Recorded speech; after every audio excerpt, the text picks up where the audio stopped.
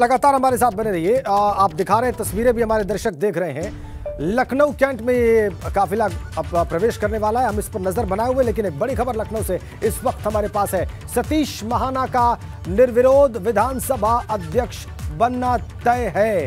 ये बड़ी अपडेट, बड़ी पॉलिटिकल अपडेट इस वक्त। एबीपी गंगा आपको दे रहा है, निर्विरोध विधानसभा अध्यक्ष, निर्विरोध स्पीकर बनना तय है सतीश महाना का।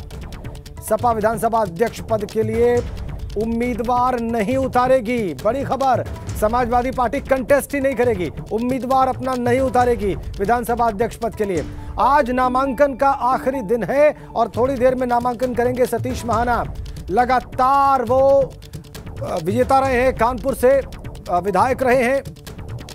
और उनका निर्विरोध विधानसभा अध्यक्ष चुना जाना अब तय है। आज नामांकन का आखिरी दिन है। जो अपडेट हमारे पास है, उसके मुताबिक समाजवादी पार्टी इस पद के लिए, यानी विधानसभा अध्यक्ष पद के लिए कॉन्टेस्ट नहीं करेगी, अपना उम्मीदवार नहीं उतारेगी।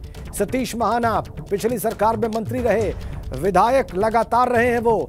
और कानपुर क्षेत्र से, और उनका निर्विरोध चुना जाना विधानसभा अध्यक्ष तय है।